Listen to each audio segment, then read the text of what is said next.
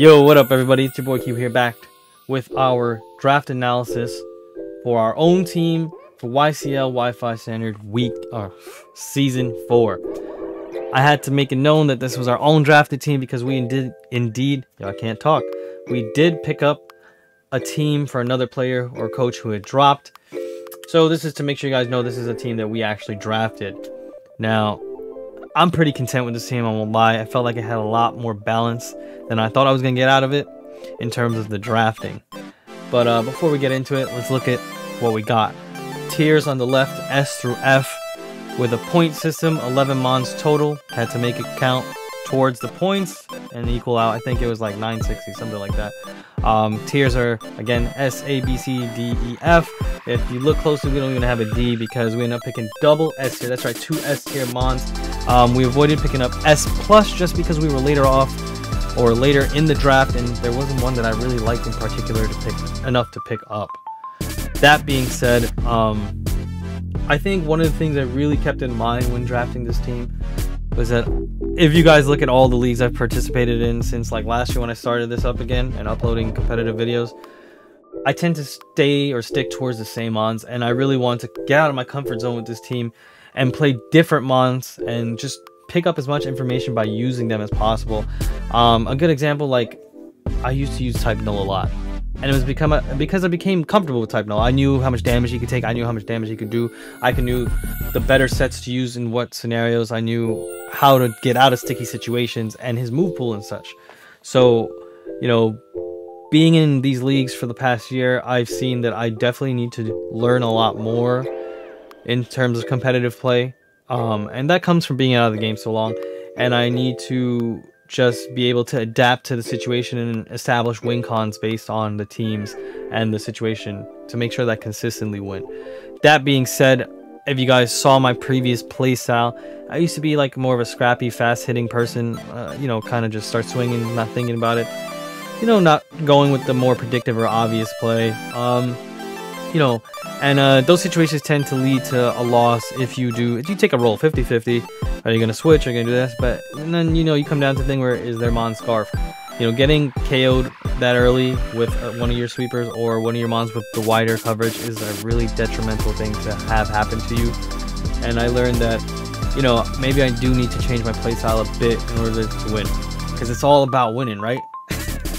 but we're looking to definitely be one of the top tier teams this season. So let's get into it. Kyurem number one, man. Ice Dragon, crazy move pool, hard hitting, can run life orbs, choice specs, um, heavy duty boots if we're afraid of rocks, stuff like that. We saw Bishmi put in work with this Kyurem, you know, slapping Dracos everywhere, hoping that our Draco percentage or our field goal percentage for Draco actually increases. You'll understand that meme once you watch my VGC battle with Arts. Rillaboom, man. Like I said, looking for more control. Rillaboom has great access to priority moves, fake out, grassy glide, and has a wide move pool, drain punch, U-turn, um, a lot, a lot of different moves again that are very, very useful. You can build him tanky, you can build him offensive. Um, that being said, this video actually is being done after my week one battle because I honestly forgot about it.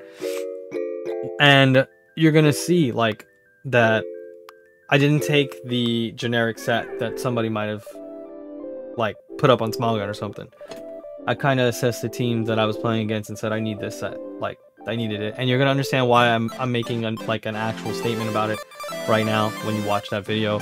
Um, I'm not gonna say who won either, but it was definitely a fun game. Um, another thing that I've tried to tend to take into account is like looking at these comps.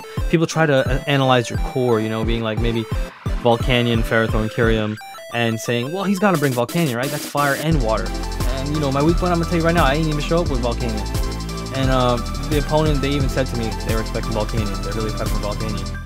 Because uh, he's hard hitting. But sometimes you have to do what's not expected. And that's something I've also learned and started to adapt towards, you know, in my battles. Um, Ferrothorn, huge wall. Iron Barb's Rocky Helmet can be really annoying. I won't lie and uh, having those hazards set up that's detrimental if you're behind the turn and you need to catch up forcing them to potentially defog rapid spin just you know remove hazards kind of brings you back up to speed Wive move pool on Volcanion with the crazy dual typing fire and water awesome mon. Didn't need a weak one, like I said, but it's definitely awesome to have. Um, Drapion, Drapion, Drapion, Drapion. Only having that weakness to ground, really. Great mon again. Great knockoff stab mon. So definitely thought I should have it. Ability to set spikes. You know, I think hazards, like I said, are going to be a real big factor for me this season, potentially. I was suffering to rocks last season a lot, man. I won't lie. Bishme beat me because of toxic spikes before. it happens. What are you gonna do? But you know, this is this is why you have to adapt, learn, and play better. Moving on to Braviary now. This is something that I wasn't too sure about. This team, like I said, I was really content with. I felt like I had a lot of good balance. The only thing I really was missing was a ghost type. That being said, before Braviary, or Braviary, it was a flying type or a decent flying type that I was lacking. And I didn't expect to be in that situation. I was really, really, really pushing towards Mandibuzz, but it got sniped two months before. got me upset. I really would have liked to pick up Mandibuzz. Crazy move pool. Again, another stab, stab knockoff with U-turn and stuff. Crazy. But I didn't get it. And uh, I'm content with Braviary. But if you look further down the list, there's Emolga there too. I had Emolga a bunch of times before, and it did have its moments in terms of clutch. So it was definitely worth if I needed another flying mon and I'm down to the points, which was like 20 for F, to have Emolga with the dual typing again. Uh, this team is more about control, more about like sl maybe slower paced gameplay and more calculated efforts. Not saying I'm going to run a calc every time we play, but you know, I need to make moves that I'm more sure of instead of saying, well, I should be faster or I should be able to kill. You know what I mean? So that's why I'm, I'm running a lower, I guess, speed, base speed team. And I had to ensure that I had one web setter to scale Galvantula. It's not always necessary. You don't always need it. There are different ways to get around it, but it's good to have it just in case. Also, dual typing bug electric. Um, you know, like I said, control, guys. Control. We got to adapt, change the playstyle a little bit. We want to increase the win percentages. We got to get more bragging rights. We got to beat Arts, Bishme, Carlos. You know what I mean? That's why we're here, really, to improve. Um, next one, Hitmontop. Awesome Mon. He's the Intimidator. The wall with the hazard removal, too. Has good access to moves for certain situations. Claydol. Claydol, Claydol, Claydol. Claydol came clutch week one. Make sure you check out the video again. Um, really good typing. Rock Psychic with Levitate. Dodging the ground moves. So it's not only um, the flying types that I have to avoid ground attacks, um, and the move pool is crazy. Clarence Ice Beam. I, I don't know. Sometimes these move pools be crazy, but it was definitely worth the pickup. Uh, Emolga, y'all know the vibes. Fast as heck. Electric and flying. Pretty good. Now, Morgrem, I know everybody sleeps on Morgrem because he's not Grimmsnarl, but he still got Prankster, guys.